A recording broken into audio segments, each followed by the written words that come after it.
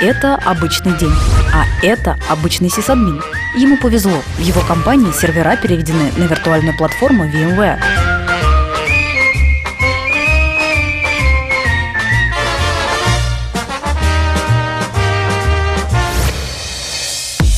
Новый день нашего сисадмина начался с того, что ему поставлены новые задачи. Интересно, как он с ними справится?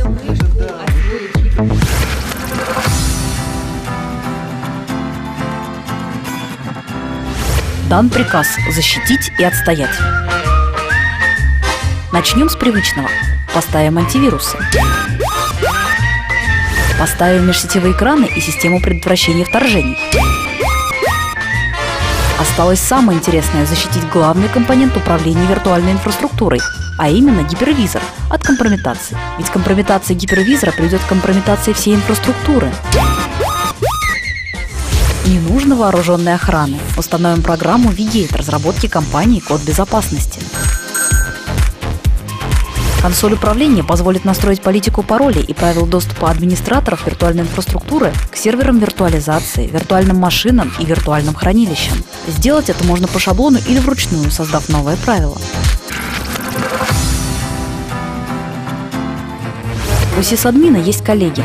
О настройке прав для коллег надо тоже позаботиться. Сисадмина ноги кормят. Слетаем на первый этаж, потом на последний. Все настраиваем вот этими вот ручками. Права доступа в Vigate назначаются с помощью специальных меток. Интерфейс программы прост. Справиться можно буквально в два клика. Вот этому администратору можно все, а вот этого не пускают.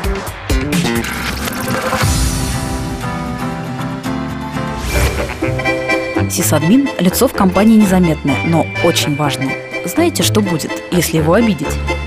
Я со своего ПДА законнектился к Cisco маршрутизатору через Telnet и поменял таблицу маршрутизации, в частности шлюз провайдера и DNS. Офис неделю висел без связи. Кого-то там вызывали, но так проблему и не нашли. Потом меня опять приняли на работу. Физические машины от вредного вмешательства сисадмина можно защитить вот так. А виртуальные уже не получится. Vigate разделяет права на управление виртуальной инфраструктурой и на управление безопасностью.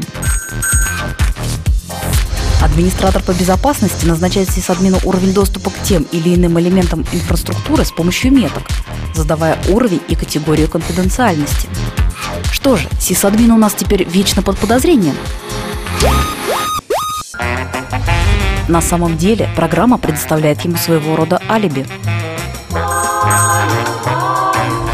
В отчетах наглядно показано, кто, когда и каким данным пытался получить доступ.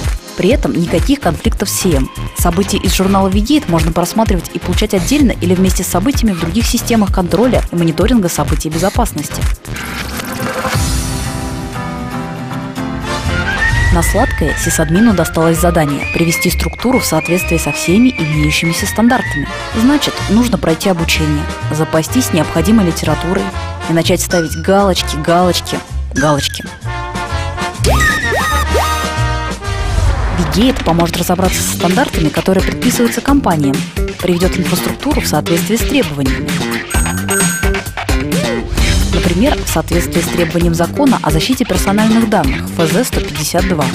На вкладке «Политики безопасности» можно создать определенную политику на основе шаблона. Программа предложит выбрать из соответствующего набора настроек нужный. Сисадмин не всеведущ. Иногда и ему нужна техподдержка. А общение с техподдержкой может выглядеть вот так – Cześć, Iwan Rozowski, technicznej. Ja was wysłucham. Co есть проблема? Техподдержка компании «Код безопасности» работает круглосуточно и ежедневно, поэтому в любое время дня и ночи пользователь получит внятную консультацию по любому вопросу. Средства защиты информации в виртуальных инфраструктурах Vigate доступны компаниям любого сегмента бизнеса.